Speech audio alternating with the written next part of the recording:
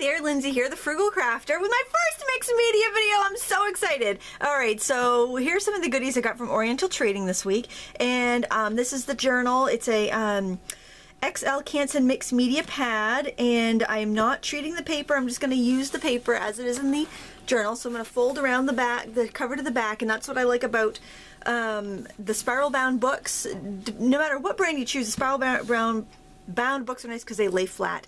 And then what I've done is I found this um, oh, one of those Dollar Tree disposable cutting mats. You get two in a package for a dollar. And I'm just going to set that in my book here just so that um, so that if if I do get a little crazy with the ink, I don't know how this paper is going to behave. Uh, I don't want it to bleed through to the other sheet. Oops, I got two there, so I'm going to put that in. I might end up trimming this down uh, to the size of the book, but um, I think it's fine like that for today.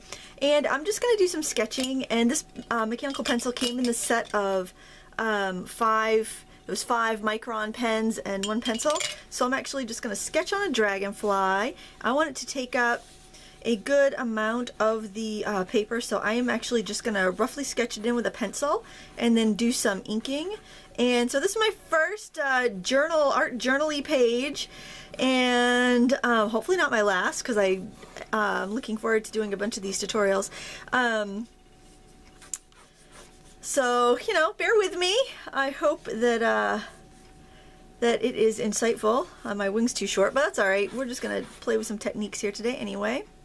So yeah, it, proportionately that should be a lot longer, but we're just gonna, we're gonna go with it.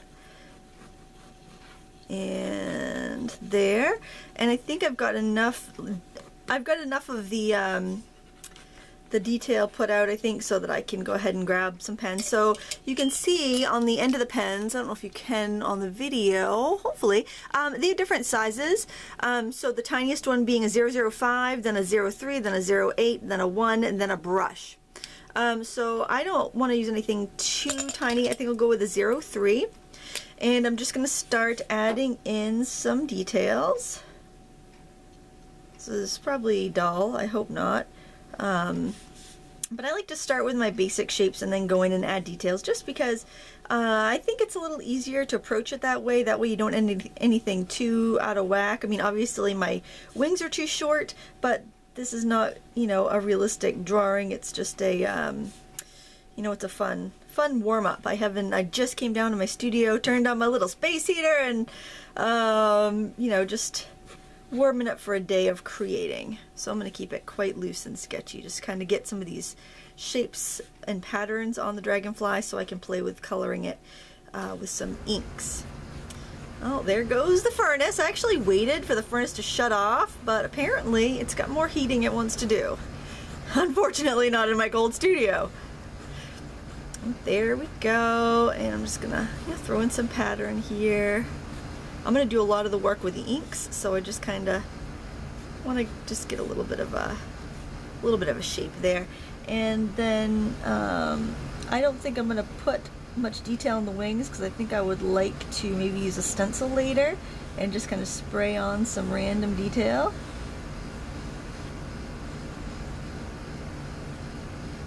Alright, and the pen works quite well on this paper. Um, we'll switch over to the brush to do the legs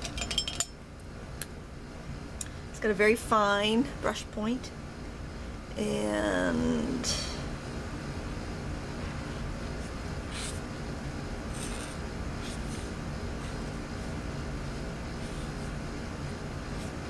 just want to keep it kind of easy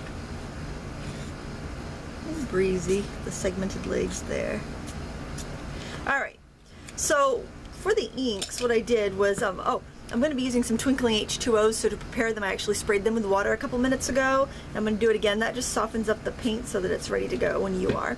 And then I um, took these three colors down here these three colors up here and I put them in the wells there. But what I think I should have done was actually put them here and then brought them over to mix. But since I'm only using six colors I really don't plan on mixing them on the palette. I think I'm gonna be alright um, and I don't want to put too much ink out because I think it's permanent once it's dry so I don't want to have I don't want to waste a bunch. And I'm just gonna use a, um, a wet brush. Here I got my bucket of water over here off camera and um, really I should probably have that to my right. Why don't I move that? I really should have that to my right because I'm right-handed. So I'm going to slide that over. Oh, Preparation, right?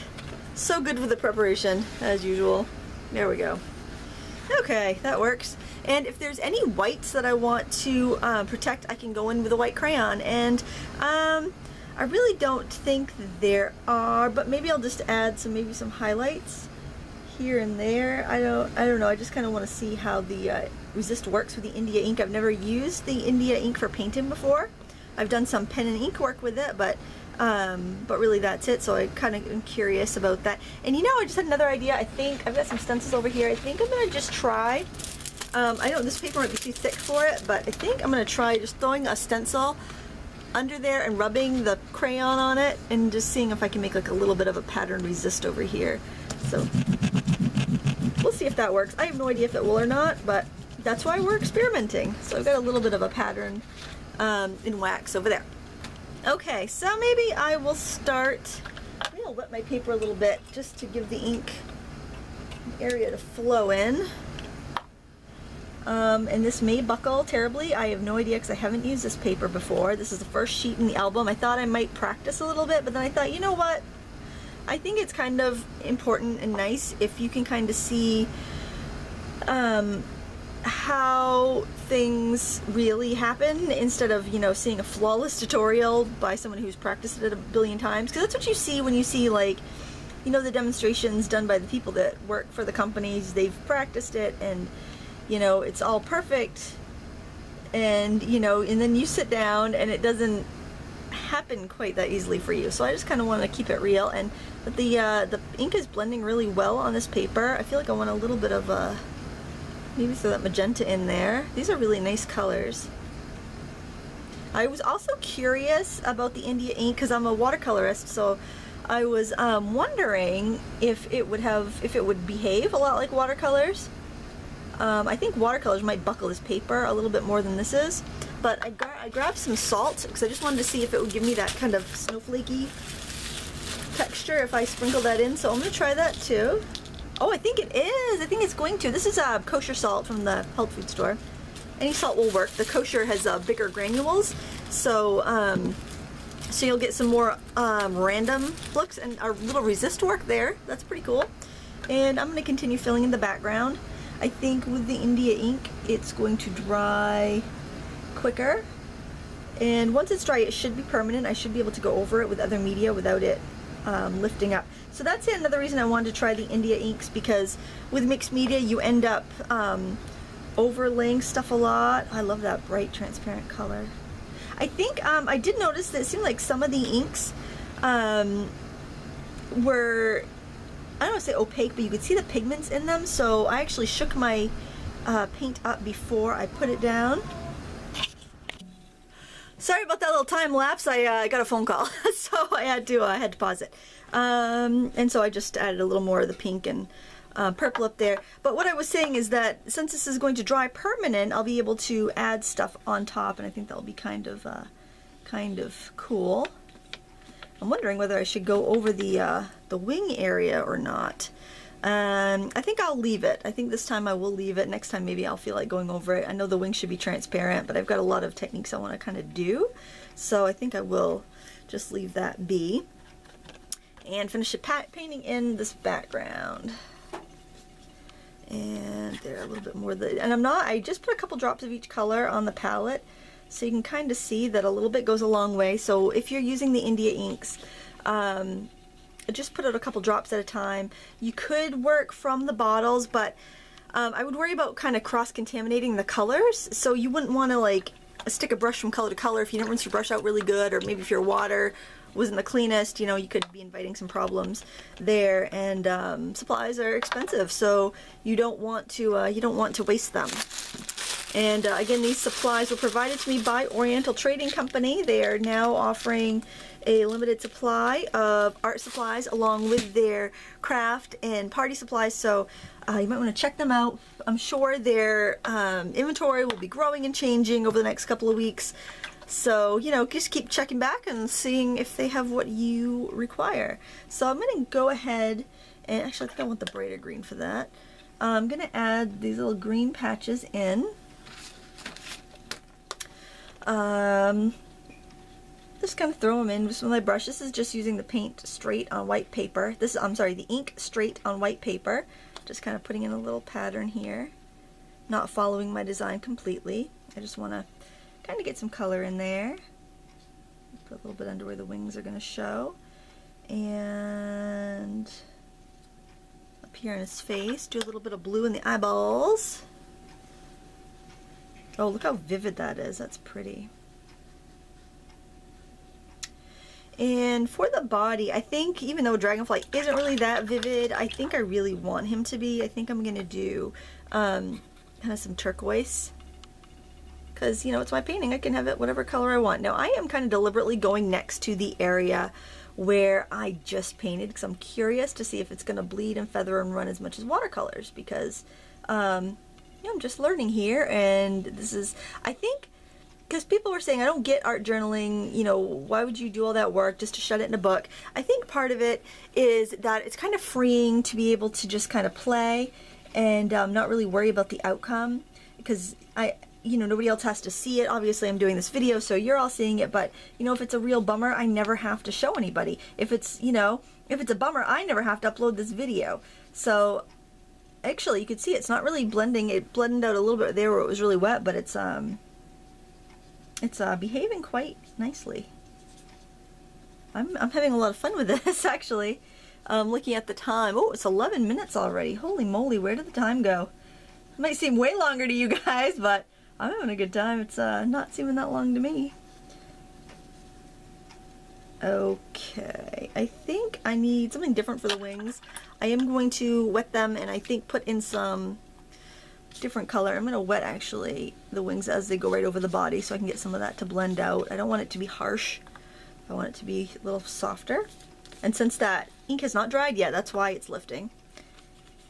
You can see on areas where the ink was applied drier, it's not lifting. So um, that's a combination of the paper and the type of ink that that is. I'm going to go in with some of this blue. And it might bleed into my background because I, you know, I'm not really waiting for things to dry today because I don't have that much time to to let it dry in my 20 minute video window. I'm thinking I got a uh, I got a high definition webcam. I might try doing kind of one of these tutorials in real time and kind of telling you what the supplies are ahead of time so you can join in and then um, paint right along with me. I want to try the twinkling H2Os and I, um, I've got my blue and my green ready so I'm just going to try this blue here. Put my brush in there. You want to soften them up first with a little bit of water because the cakes are really really hard. They're much harder than like a watercolor cake so it's something to keep in mind. Um, but you'll notice I'm getting ink on the top of that.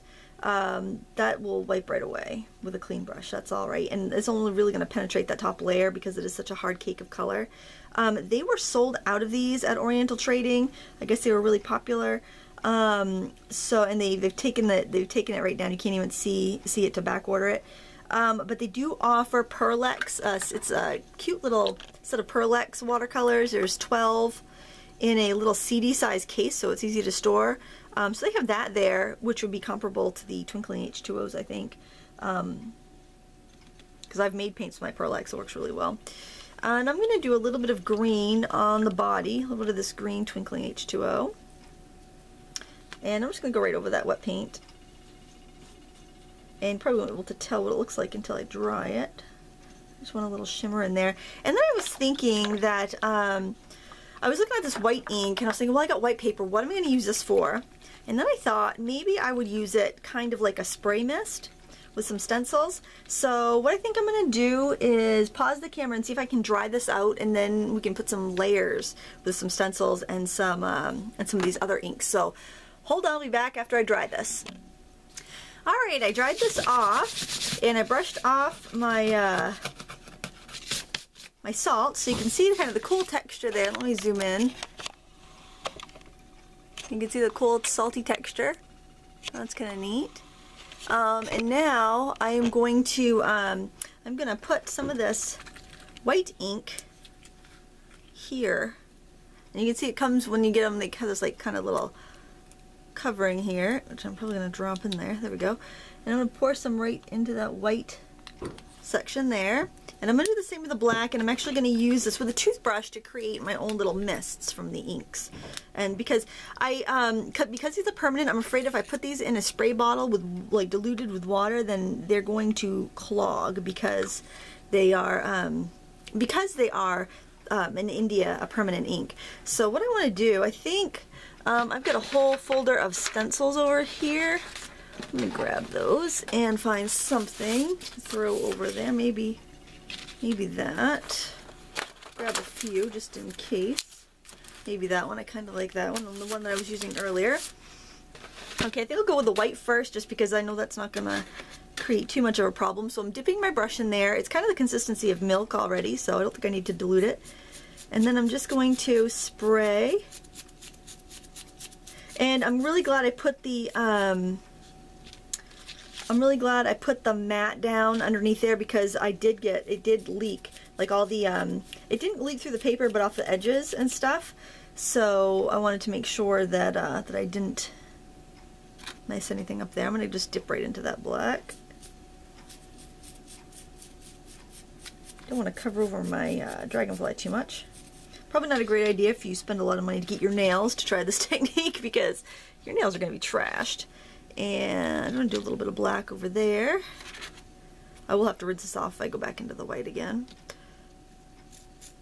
I'm also kind of curious to let the paint dry in the palette and see if I can reactivate it a bit with water or alcohol or something. So I'll let you know how that goes on the next mixed media video. Now the cool thing about stencils is that, um, you know, we're getting this really covered with ink here. So what I can do is remove it and I can actually press it down somewhere else and use that use it as a stamp. So there, you kind of like two for the price of one there. This is this art journaling thing's kind of fun, I have to say. I won't be actually journaling because I can't write upside down. Look at my hands. Oh my gosh. Um, hopefully I have a tissue around here I can wipe my hands off with. Okay, and then the other use I wanted to try was just kind of dipping in some of the um, the ink right from the bottle. So I'm just going to give this a shake and try maybe sketching on some details of the uh, of the wing here. I don't know about this glass pen. We'll give it a try. It's kind of more of a novelty than anything else. Um, so I'm just sketching on a pattern there. This is a very fine tip pen. I don't know if you can see anything or not that I'm drawing here.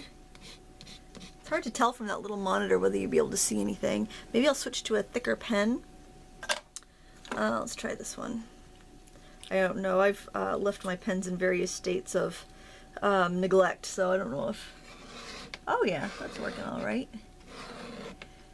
I'm not going to worry about it because this is just practice. It's just fun. I'm not expecting this to be hung up anywhere, and I think that's kind of what the uh, the whole purpose of an art journal is just to kind of have fun and maybe try some techniques. And I think that would even be kind of fun to just take a wet brush and drag it along the edge and soften it. Oh, I like that. And then maybe even add a little bit more of that pearl stuff to it while I'm at it. And you can see those first lines I made that were already dry have kind of um, have kind of melt have have stayed actually. So that's kind of cool. We'll add some more details up here to this top one. Um, a little brush of color there, just kind of. I'm just putting in a random pattern, so please don't uh, don't take this as this is the way a veins on a dragonfly wing goes because I am just making it up, folks. Oops, and look, I've just um, spilt some. And, well, so I'm going to add some speckles over here so it looks like you did it on purpose. So that's what you do when you make a mistake, if you do it in other parts, you repeat the pattern, then it looks on purpose. So, well, little tip for me to you there. How to, how to, how to, uh, how to make your mistakes seem intentional. I'm very good at that. And with my glass pen, let me grab that glass pen again. And go on a little bit more detailed lines. And I'm really hurrying because my camera's going to shut off in like 30 seconds. Um, well, there you have it. Got some, some fun little techniques there that we've tried. And um, I do hope that you dig out your supplies and give it a try too, and maybe follow along next time. Thank you so much for watching. Links below to the products I used, and subscribe, thumbs up, and until next time, happy crafting.